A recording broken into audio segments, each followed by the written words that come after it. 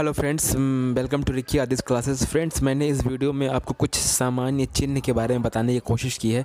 जैसा कि आप लोग जानते हैं व्हाट्सएप फेसबुक ट्विटर एवरीवेयर आप इन सिंबल्स को यूज़ करते हैं। तो आइए मैं उन्हीं सिंबल्स को बताने की कोशिश करता हूँ कि उसे अंग्रेज़ी में क्या कहते हैं। तो सबसे पहले बहुत सारे सिम्बल्स होते हैं हमारे कीवर्ड में कीपैड में जो हम टाइप करते हैं क्वालिटी कीपैड में। तो बहुत सारे आपको वहाँ पे कुछ साइंस मिलते हैं, कुछ सिंबल्स मिलते हैं तो आइए जान लेते हैं उनको क्या क्या कहते हैं। तो फ्रेंड्स अगर आप न्यू हैं तो सबसे पहले मेरे चैनल को सब्सक्राइब कर लें और नोटिफिकेशन बेल ज़रूर ऑन कर लें। ऐसे ही महत्वपूर्ण और इंपॉर्टेंट वीडियो को सबसे पहले देखने के लिए। तो आइए सबसे पहले मैं बताता हूँ मैं कॉपीराइट सिंबल क्या होता है। फ्रेंड्स ये सी से जो बना होता है सर्किल के अंदर होता है, उसको कहते हैं कॉपीराइट सिंबल नेक्स्ट आर यानी रजिस्टर्ड ट्रेडमार्क सिंबल है ये, जो आर होता है इन सर्किल तो उसे हम कहते हैं रजिस्टर्ड ट्रेडमार्क सिंबल टिक ये जो आप मार्क्स देख रहे हैं, ये टिक का मार्क है.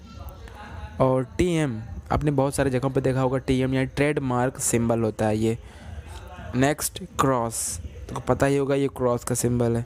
डिट्टो ये इसको कहते हैं डिट्टो यानी जो इन्वर्टेड कॉमा में बंद होता है, उसे कहते हैं डिट्टो नेक्स्ट एम्पर सैंड बहुत से लोग एंड भी बोलते हैं इसको, जो हम अपने रिटर्न में यूज़ करते हैं रिटर्न इंग्लिश में एंड का यूज़ करते हैं। तो इसे बोलते हैं एम पर सैंड या फिर एंड नेक्स्ट है स्लैश या इसको हम स्ट्रोक भी बोलते हैं।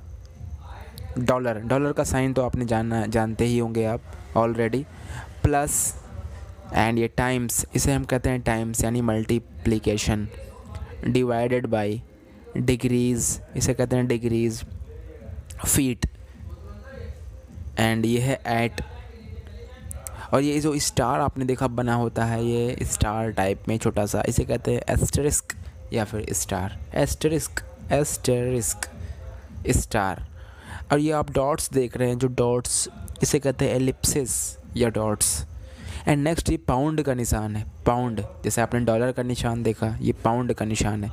और आगे आगे बढ़ेंगे हम माइनस ये माइनस का निशान है. ये है बाई। जैसे आपको कहना हो, the room is eight by ten equals.